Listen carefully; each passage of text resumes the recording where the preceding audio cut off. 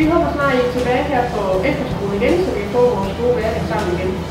Og et af de tidspunkter, vi savner rigtig meget, det er 9.40, hvor vi har vores formidagspause, hvor vi får en bold.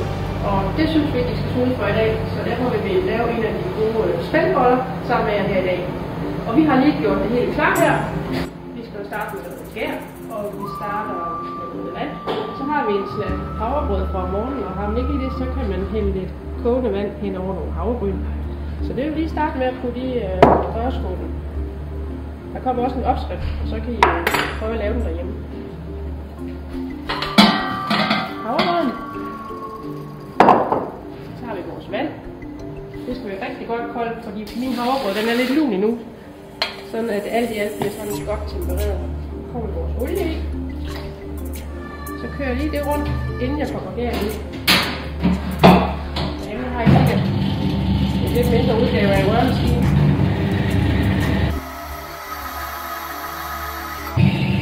Så snuller vi lige vores skær ned i.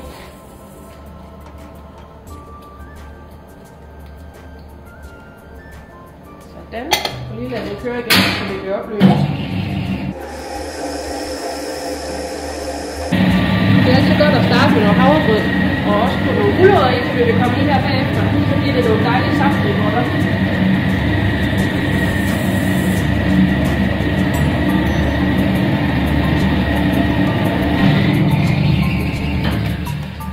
Sådan, så kommer vi lige gulerødderne i.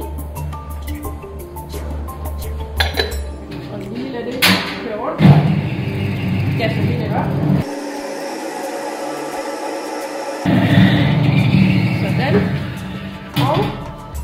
ingen spæltbolle uden spæltben.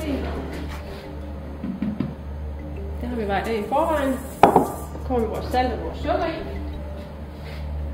Sådan. Og lige der, det røre lidt sammen, inden jeg har hvedemel.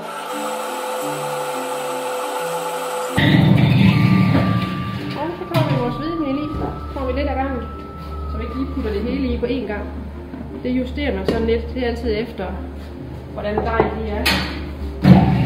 Det her. Og ikke skulle alt for voldsomt op, så skulle hen og gøre hele øh, køkkenet hjem rent derhjemme, tror jeg.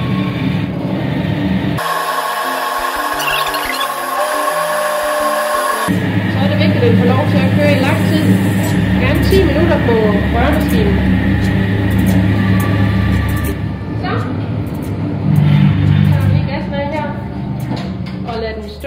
Have nu i øh, en halv times tid. Vi kan se, at den er sådan godt klistret. Hænger lidt en smule ved kanterne, og det gør ingenting. Det skal det være på den måde her. Så øh, vi kigger til den igen om en halv time. Så er dejen hævet.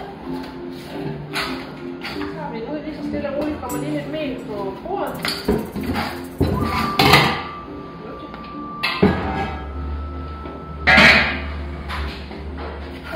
Ikke at presse al den gode luft ud af dejen, som der nu er blevet. Den blev rigtig lækker. Så vi trykker bare lige så stille ud. Så folder jeg den lige lidt ind til midten og til midten. Så drejer jeg den en gang, og så folder jeg en gang mere her. Så det ligesom bliver en masse lag, der ligger oven i hinanden nu. Så vender jeg den lige rundt igen. Kommer en lille smule mere bordet. Så tager vi en kagerulle.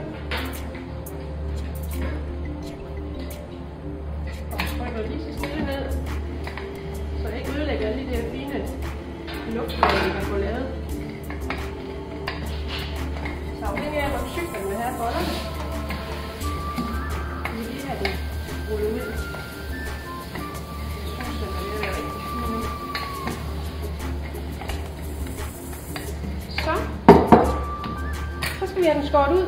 Og jeg bruger vores øh, pizzaskære. Måske har jeg også en pizzaskære i lidt mindre udgave. Man kan også bare bruge en kniv, eller man kan bruge sådan en øh, udstikker. Så skærer jeg og rækker.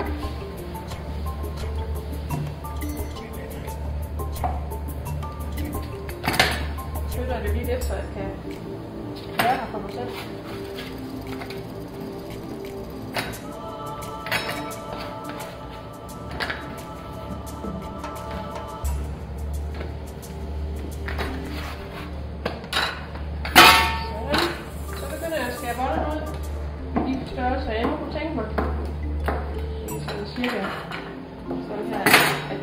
Dem. Så lægger vi dem op på pladen. Jeg har fem henad. Og syv nedad. Og store plader her.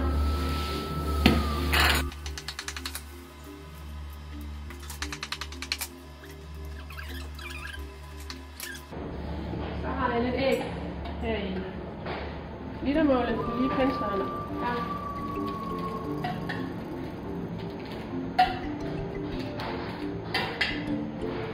Lige gjort lidt blå birkes klar til at kunne øh, bryste med her, når jeg vender lige, så kommer det rigtig godt på hele overfladen.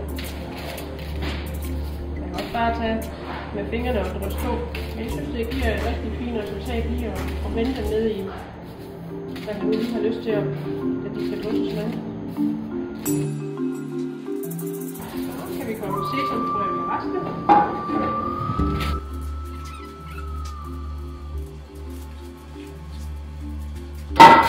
Fortsætter med vi nå at hæve lidt igen, og det er vigtigt, at man får lov at hæve. Cirka en halv time, måske lidt mere. Det kan vi så prøve at kigge på, når der er gået en halv time. Så har bollerne hævet, og nu er de blevet rigtig fine. De er sådan helt øh, luftige og flotte. Så nu skal de ind i en øh, 180 grader varm ovn, og jeg tænker, at de har hævet her øh, i 45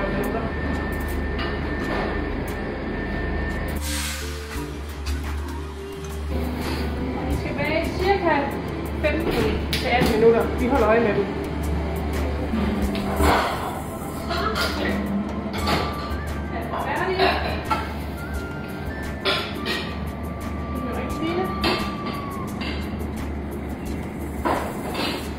Så er de rigtig god dag derude.